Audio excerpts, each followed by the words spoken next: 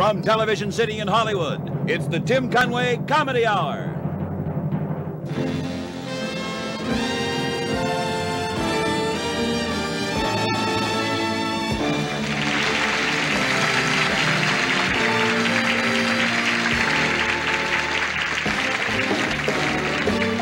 Since the time we began, every show that we plan is designed so we can come back to you. It's a kick all the way when you write just to say we've been fun and we may come back to you. We don't know where you are if you're watching our star in your home or a bar.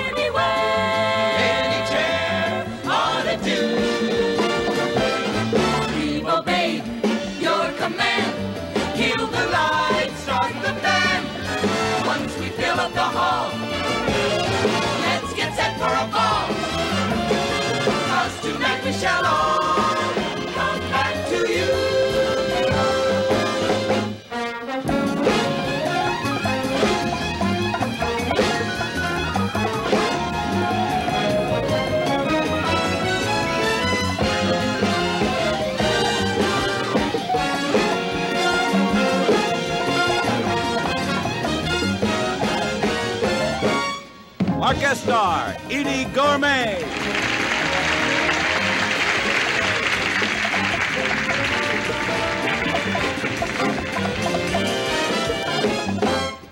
Our special guest star, Steve Allen.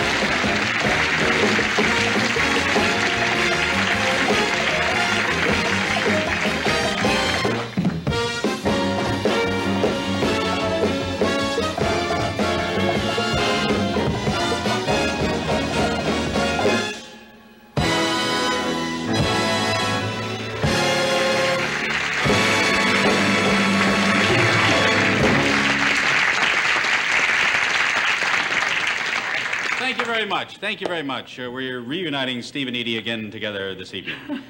Did you ever think you'd see me here again? Uh, shut up. I'll handle it, Steve. it's important. Steve Allen was the one, as you all know, that uh, read my biography, which we passed out earlier here in the audience, who discovered me in Cleveland, Ohio, and brought me out to this promised land over, do you realize how long that's been?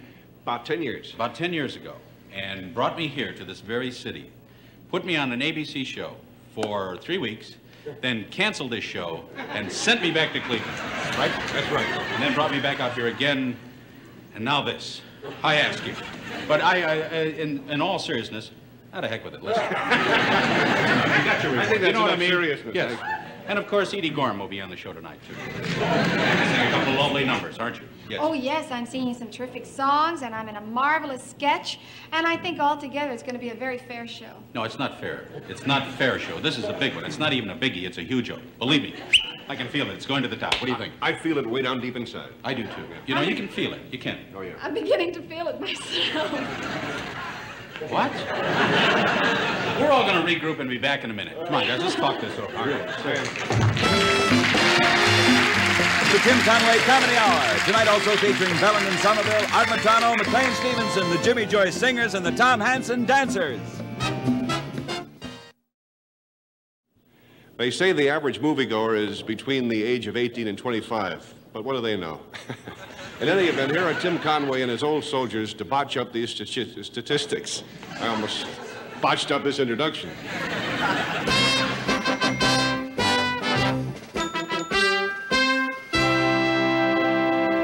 Come on, boys. Come on right in. It's dark. Use the buddy system. Whoa!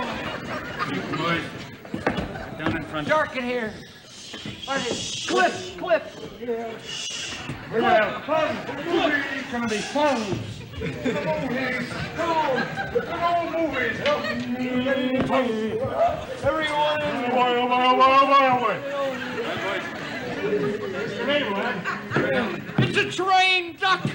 duck. That's the projector. Oh, There's a movie up here. oh, it's my x-rays. Big screen x-rays. There's the picture. Oh, but they're very good, aren't they? That's not the picture. She's a good actress. That little one is. Over here. My seat's on an angle. How are you? Get up. Ah. Oh, You're not in your seat. Oh, that seat's for Jeffrey. Jeffrey's dead. Wasn't that a shame? It was a good seat. you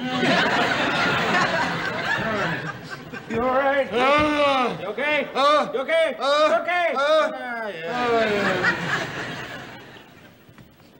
I'm hungry. Hungry, hungry, hungry. boys. Here you go. Oh, yeah. Here's some popcorn. Prunes. No prunes tonight. Okay. Oh, hot water and zucchini. Yeah, here you go. Some popcorn. Hey, want some mush and some juji beads for Jeffrey. Jeffrey's dead. Oh, that's a shame. You better get him some chicken soup. There you go. You want some popcorn? Ah, I want a jawbreaker. Huh? Uh, jawbreaker. Don't have any teeth. Huh? No teeth. Huh? No teeth. Huh? Ah, yeah.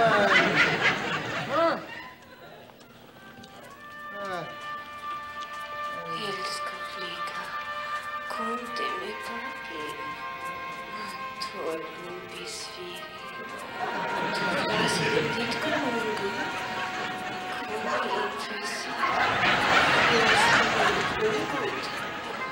Inte som nedsviken. Holy cow, louder, louder. Oh, focus it. Focus, a little focus. Torben besviken. Why the screen?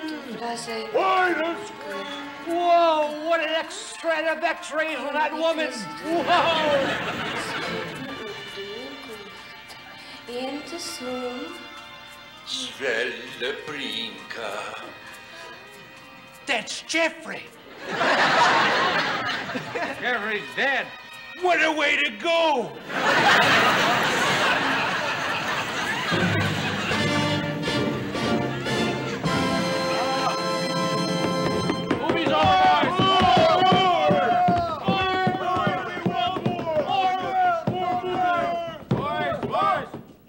Across the street. There's another movie on over there. No, no, I want this one. What's showing over there? Uh, sex begins at 80 and senile woman.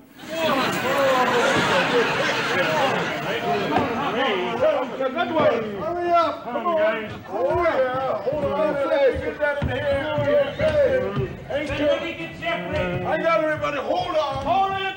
Here we go. Uh, guys, come on back. The show started again.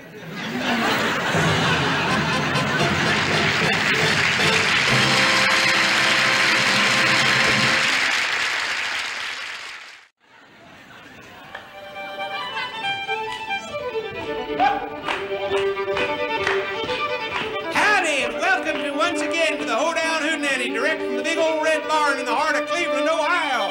And now here they are, the Hoedown Hootenanny Square Dance Dancers, Bobby Joe and Billy Joe. Hee-hee. Judy Joe and Jimmy Joe. Hee-hee. Lucy Joe and Freddie Joe. Mary Joe and Judy Joe. Rosamond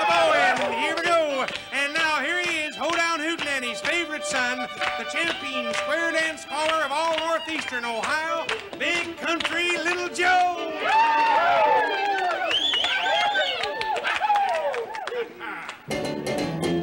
Well, howdy do and fiddly dee, bow to your partners, one, two, three. Now you take your heads and then swing them in and back again. Dance to the left and element right and do-si-do with all your might. Swing your partner round and round, stomp your foot upon the ground. Stick your right hand in the air, gentlemen, kiss your lady fair. Lift your partner in the air, if she's too heavy, then pull her hair. And if he pull your hair too tight, just give his hand a painful bite. Now swing your partner round and round to make some kind of a rotten sound. An element out, an element in, kick your partner in the shin. Then promenade left just like a dummy, punch your partner in his tummy. Push to the earth, girls to the south, then come back and smack him in the mouth. Element left and squeeze his nose, stomp real hard right on his toes. Curtsy once and twirl about, and then you knock his choppers out. Lead him on an early chase, step right on his stupid face. Kick him low, kick him high, poke him again. Everybody's fight, nobody's quiet. Now we have a real good riot. This kind of stuff is really tops, and dirty thing has called the cops. All know what the policeman does. Let's really hear it for the fuzz. Pack on the gas, pack a rod. Jam everybody with a camel prod. Get them to the hose, got throw in the key. Don't you let them pester me.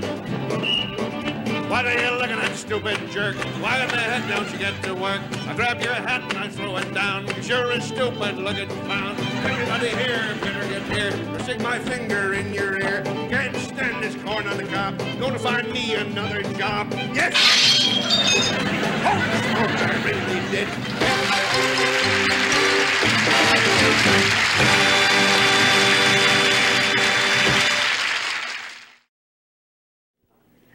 Hi, we're the famous team of Steve and Eydie.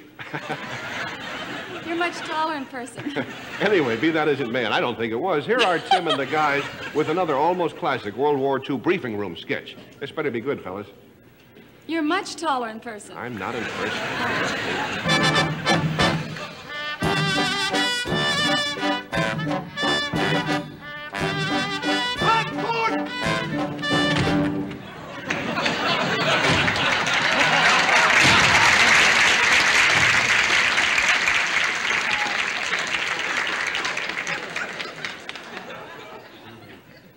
So, these are my soldiers, huh? You know that we are losing the war.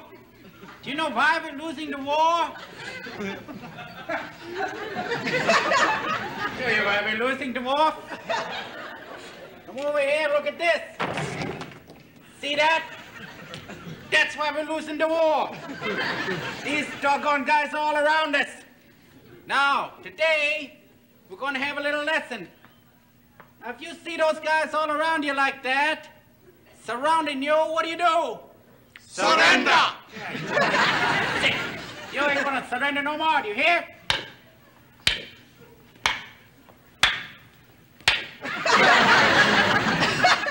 well, maybe you can surrender, but you know. Wouldn't hurt if one guy surrendered. Heck, that's for other guys. No, today we're gonna have a lesson. I'm gonna show you what to do when these guys are all around you. Watch this. When they're there and they're all around you, this is what you're gonna do. You're gonna hide. there. Now see, they can't find you. Now that's what we gotta learn, because I learned that in military hiding school. What do you want? Excuse me, but how did we get from there to there? You dumb cough. I put you over there, that's how. now, what do you want? My Führer. Look and see. Holy smoke and see. Boy, those guys are everywhere. Well, look. Well, if that don't work, you're gonna give up? Huh, Smiley? Give up in military hiding school. You know why? You put your left foot out, shake it all about. That's what I call hiding the crowd.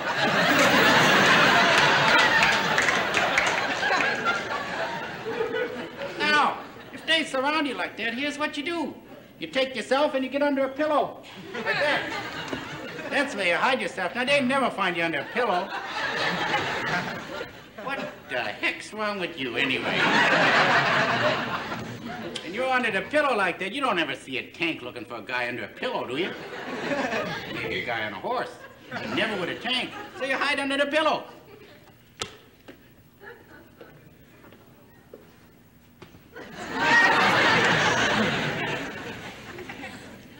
Somebody's leaking our plans out. Holy smoke.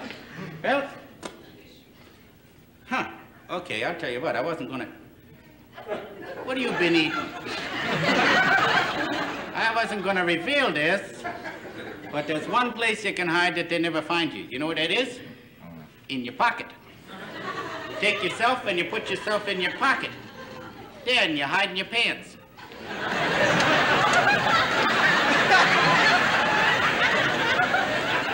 Who the heck's ever gonna find you in your pants? then you'll be safe, and you won't have. What the? There's yanks in my pants. Okay, so the plans are leaking out somewhere. But I tell you one thing. If you really want to hide, there's only one place. I wasn't going to reveal this, but in military hiding school, we learned this. The best place to hide yourself at any time is in a sandwich. you can put yourself in a sandwich, they never find you. Wait a minute, this is peanut butter. Who's got a better sandwich? What do you got? You got the jiggles of what you got. Braunschweiger. Where'd you go to school? Braunschweig. What do you got? I got bologna. Cream cheese. Huh? Cream cheese.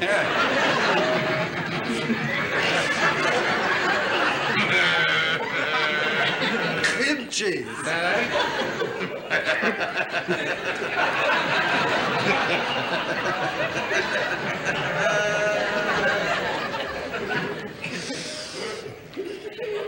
What do you got, dummy?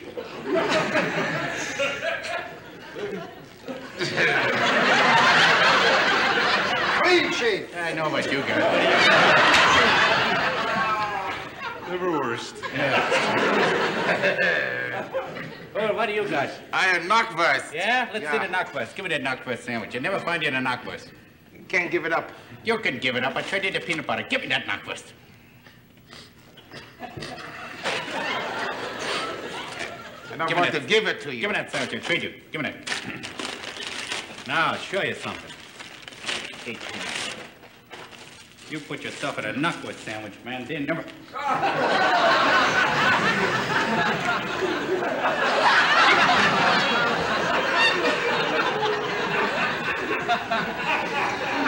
Put yourself in there, they never find you. Now. All right, everybody back. Stop! Don't Get 'em move. Don't nobody move.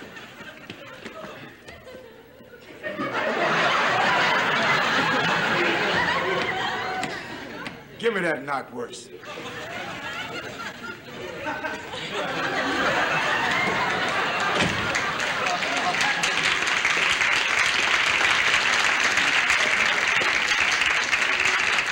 Uh, how do you like that? We lost the war, now I get eaten in a cafeteria.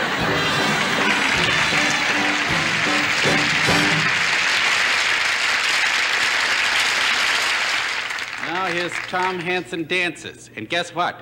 Tom put on his dancing shoes, so it's Tom Hansen and the Tom Hansen dances. It's better be good. I mean it.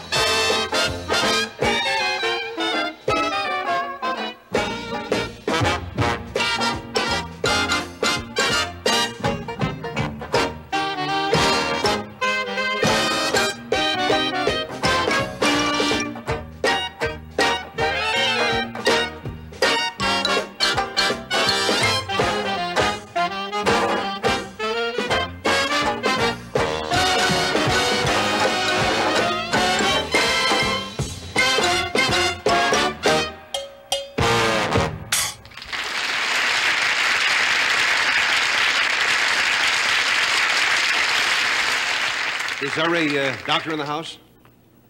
I guess not. Well, it's all right, because there are three of them on stage.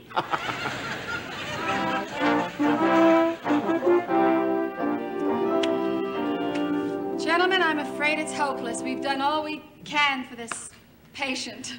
Yeah, you're right, Doctor. Between the three of us, we can't seem to find the correct operative solution. That's right, gentlemen. That's why I've called in Dr. Jonathan Howard. He's a specialist in these cases. I'm sure he can help us. Trust I'm in time, doctors. I've had a previous case that required my attention. I understand you've tried arresting the pulmonary cardiac transverse valve. Is that correct? Yes, doctor. Have you tried the Balford method? The what? The Balford method. Yes, we tried that. That's why he's so sick. And has not had a Balford. This You've tried the Balford method and you've had no success? None whatsoever, Doctor. What's this man's pulse? Oh, 35 and growing weak. Great Scott. Doctors, I know exactly what to do. If you don't mind, would you please leave the room? Mm-hmm. I must get to work very fast. Excuse me. Thank you. Be right outside if you need us. Start hard, brave fellow. Padumana! Samadi! Ayima! Huyama! Hibira! Uh! Uh! Uh! Here! Ha! Here! Ha! Here! Ha! Ayima! Skubula! Ya! Here! Ho! Here! Ho! Here! Ho! I have told for the bear. I hope this cat's got Medicare. Aima! Aima! Get up, baby. I'm cured. Doctor, I'm cured. He did it, huh? I'm cured. Miracle. Doctor, what do I owe you? Miracle. Oh, my usual fee. Five hippo lips and two mosquito knees. He's expensive, isn't he?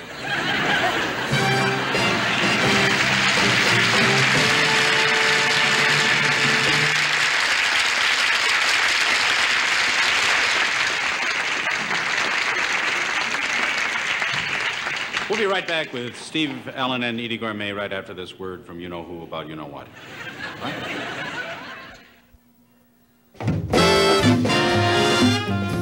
Stay tuned for the second portion of the Tim Conway Comedy Hour with Tim's guests, Steve Allen and Eydie Gorme.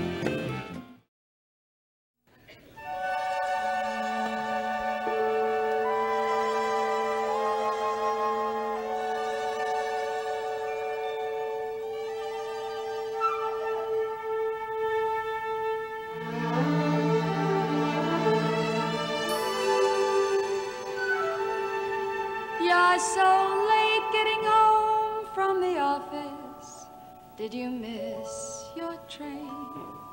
Were you caught in the rain? No, don't bother to explain.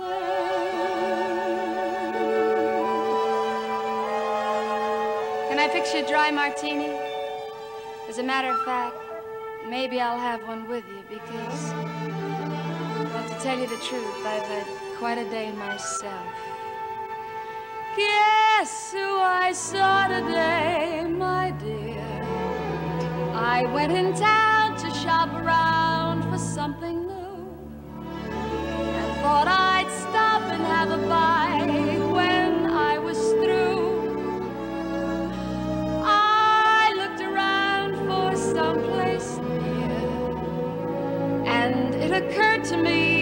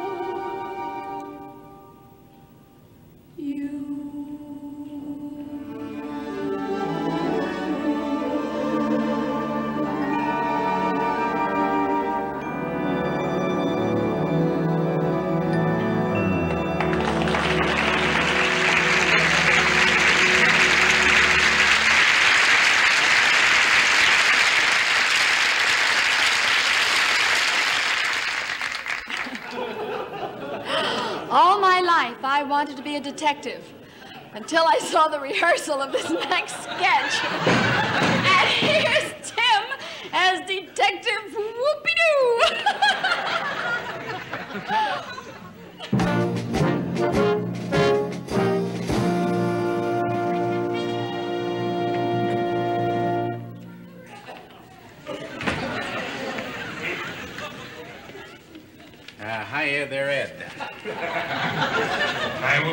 How's it going?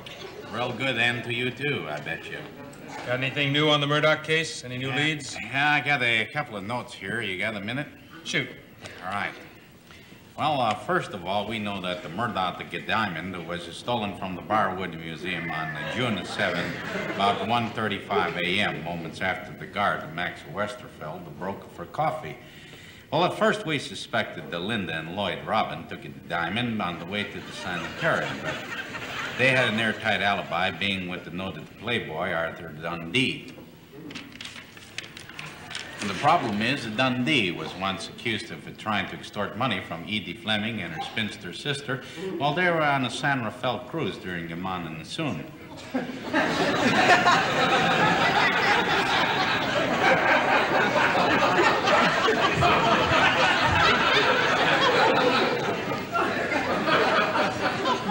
Now we have the reports that the Murdoch diamond was hand carried by Rocco, who was to make a deal with the half-starved Cheyenne Indian on August, like on your 10th. On August the 12th, Dundee met with the head of the Dragon Society. At the same time in Africa, Dr. Benjamin Tott was holding Jocko as a hostage only yards away from an Angra volcano. But he escaped and underwent plastic surgery to pose as a local police commissioner. That's what threw us off. Now, did this mean that Dr. Von Roost was Uh, involved? Laverne? Not at this Yeah, this point. is it. Who was the only man who Uh, could I gain got from myself this? into one here with Whoopie-Doo. A man who uses his fist and his guns instead of his charm when that all fails. Rabbi Weiss. Meanwhile, the lab boys went over to the Briarwood Museum and came up with a different angle. They ran the dart gun through ballistics and found a negative. Now, you're probably asking yourself, what about Devalicia, the Indian girl, who led a dual life? She found herself she found herself entangled in a romantic affair with the corrupt jockey. Now, Dundee found out, and so did the Dragon Society, and it looked like curtains for a while. But on Labor Day vacation, uh, Blue Sky, who incidentally was also an Indiana, gave her permission to drill for oil on his property. Well, this broke the case wide open.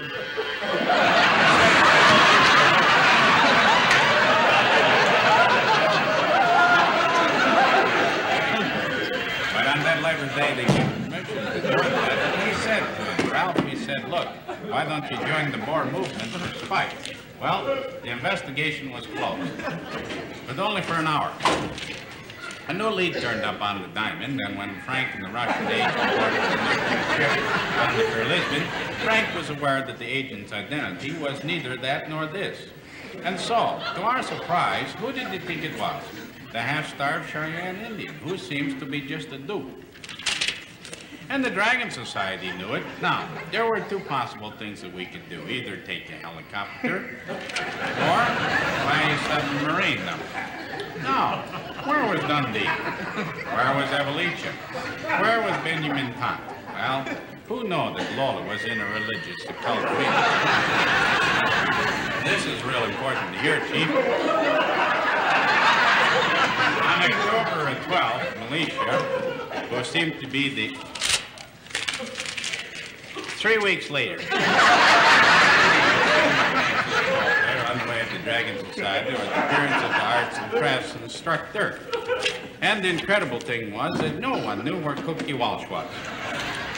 But somehow, the pieces just don't fit.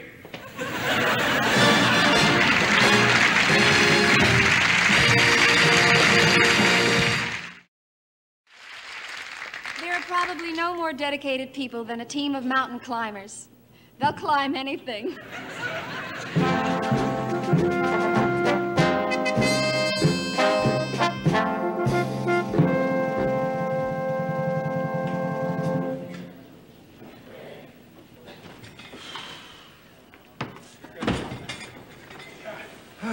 Everything prepared? Yeah. Oh, here come those mountain climbers again. Yeah, here they come.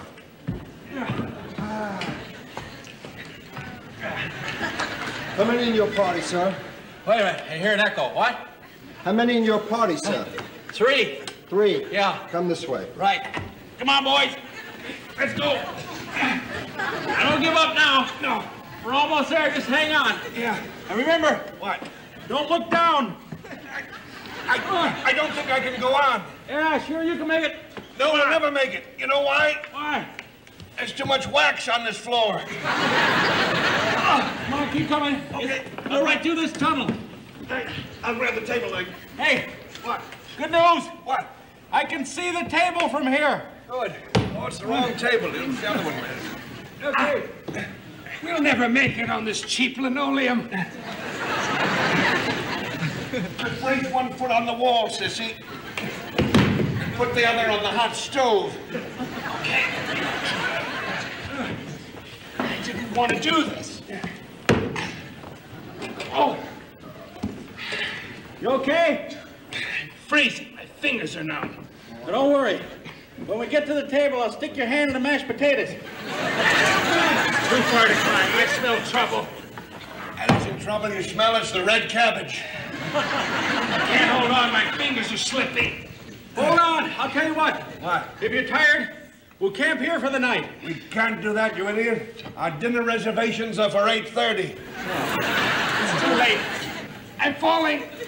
Say goodbye to the roast beef. Wait.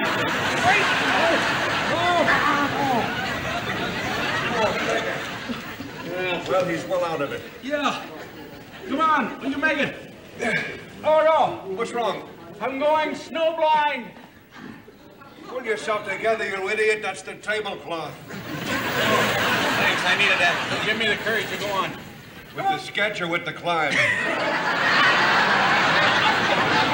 what I meant when I said he was well out of it. You have no courage. You're getting too old and too smart. Come on. You need some help? I can make it. I'm almost to the table. Yeah. Can you see? Can you see the menus yet? Yeah. Boy, the prices are atrocious. They're also upside down. Things happen. Pull us up. I can't. Look out, a landslide. What are you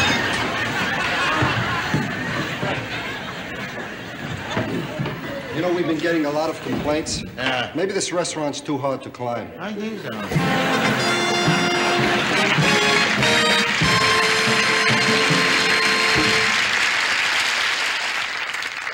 Hello, we're Belland and Somerville. This is Bruce Belland, and I'm David Somerville. Some of you may remember us because we sang a song a few minutes ago.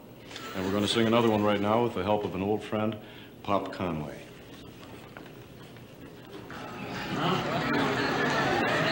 Morning,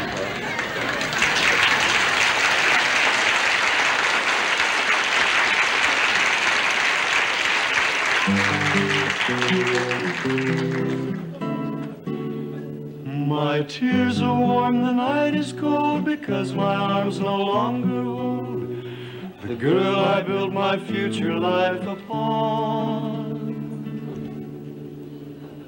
She gone. My heart was all she took away. The dreams we shared are here to stay. They haunt me till it's time to face the dawn. She's gone. I'm lonely, lonely, lonely as can be. If only,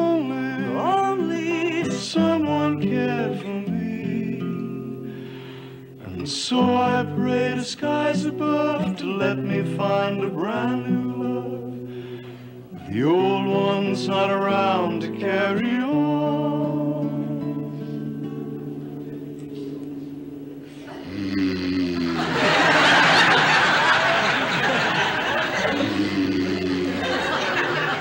He's gone.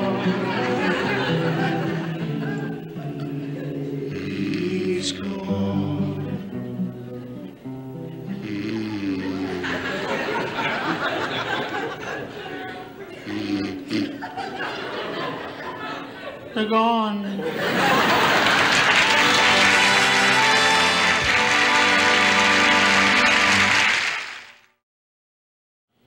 Well, that just about puts the old cap on the show for this evening. Uh, next week, my guests will be Mickey Rooney and Dorothy Lamour, and the following week will be Connie Stevens and Walter Brennan. However, this is our last show that we'll be taping here live and in person, ladies and gentlemen.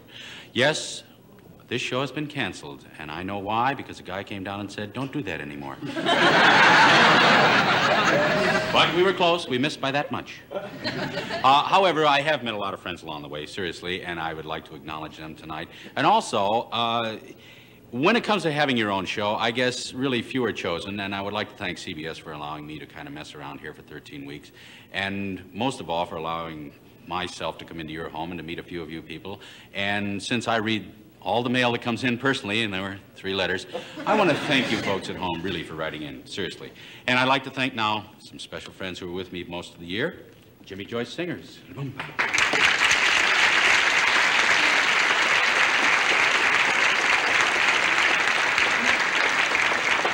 the sensational Tom Hansen dancers and Tom himself.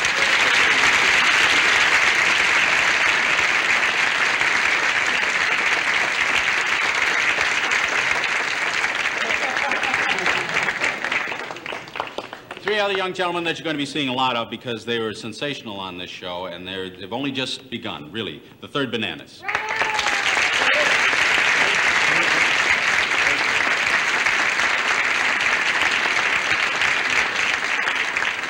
And two gentlemen who uh, will be be with mouth, wherever I go. Art Metrano and McLean Stevenson. Gosh, you big lugs, you. Thank you so much. We're gonna miss you, Tim. John Amos. And Ray Kellogg.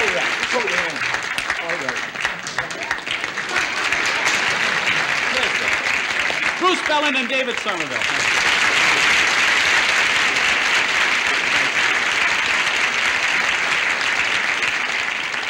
I'm, I'm very happy to be with these two people tonight because I consider them very close friends. And as I say, it started with Steve, and now, Steve, look what you've done. Hmm. Tim, just want to say I'll get you for this. Thank you very much. Thank you, dear. Bye.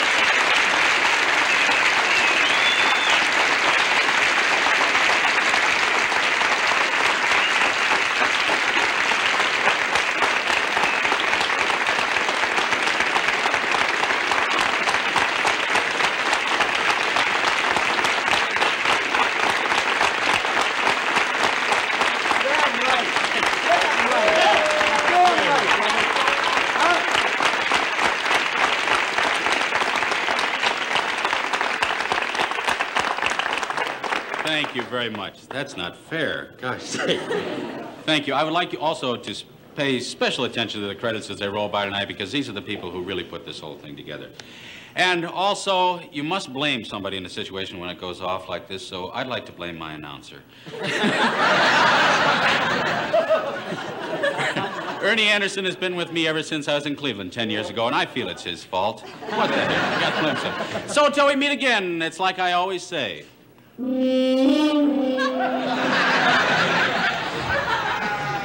I'd like to blame two people. Gee, it's all fine and dandy, sugar candy when I'm with you. Good night, everybody, and thank you.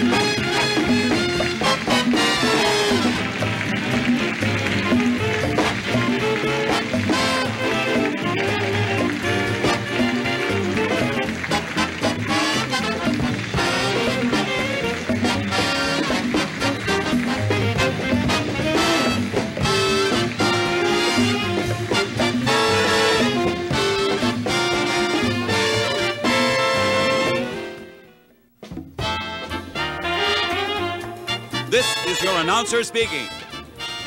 And I'm sorry.